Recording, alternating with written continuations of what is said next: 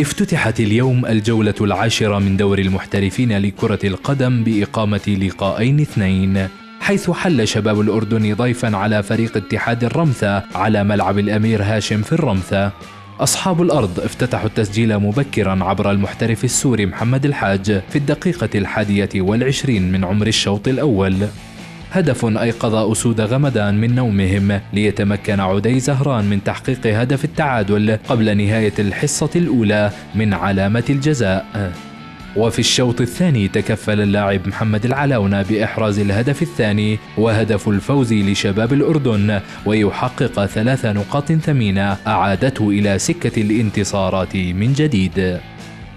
ثاني مواجهات هذا اليوم جمعت الفيصلي مع الصريح على ملعب الأمير حسن في إربد. الشوط الأول انتهى أبيض النتيجة حيث لم ينجح أي من الفريقين بهز شباك الآخر. وفي الشوط الثاني افتتح المحترف إيمانويل النتيجة بإحراز هدف السبق لصالح الصريح في الدقيقة الثالثة والخمسين.